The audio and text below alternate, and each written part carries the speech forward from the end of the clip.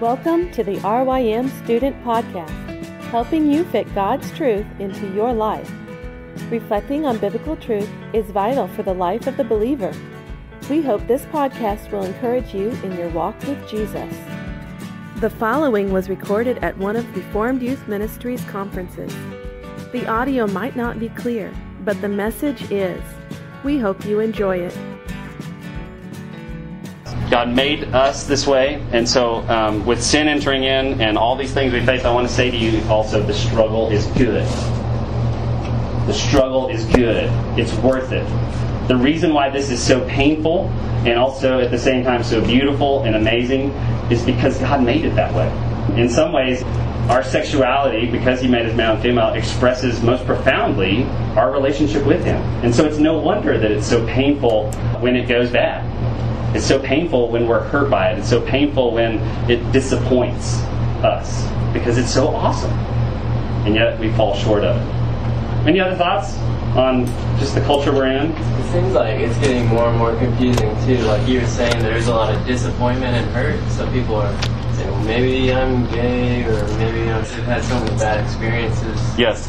We are all shaped by our environment. We're shaped by our choices, but our sexuality is, is especially shaped and all the struggles that come, whether it's same sex attraction, isolating ourselves, and pornography and masturbation, whatever those things are, like that's the confusion.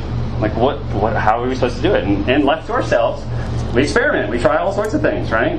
It's just scary to think what's online and out there that people are inventing to, to try to find satisfaction, to try to find an answer to how God has made us but without his guidance, we, again, end up in a lot of pain and struggle and frustration. Anything else? Yes? Nothing besides like church and whether you like surround yourself with good people is keeping you away from it. It's like entirely you that makes like, you know, that has to keep yes. and intact. And I feel like that's a lot on one person when everything in this world is telling you something else. Absolutely. Yeah, we're going to talk about that. Kind of the, the keys to fighting well, to struggling well.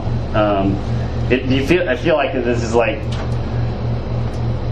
one fish going down a stream of a thousand this way.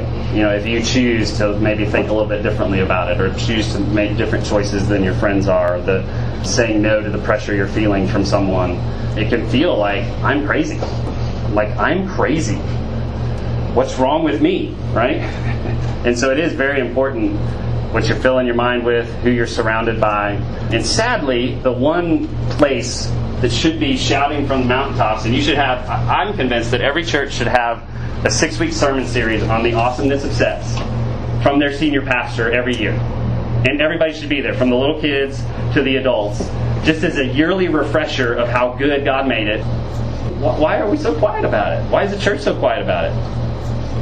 They're afraid they can get the wrong image, considering the way the culture is. They don't want yeah. to make someone think, oh, is that fine then? So I'm just going to yeah, go yeah, ahead and do this. Yeah, so afraid of being misunderstood, afraid of misrepresentation, and I think just just like we don't know what God has given us. We don't really read our Bibles well and understand the good gift, and that we're to fight for it. I don't know. I can't change that. I've been talking about this for like ever, it seems, as a youth pastor and as a pastor, and I don't know that things are getting any better, and they may not culturally. So, review. Who made sex? Who made us male and female? Um, and it is good. Okay? And the struggle then is good too. For more information on RYM student conferences, visit rym.org forward slash conferences.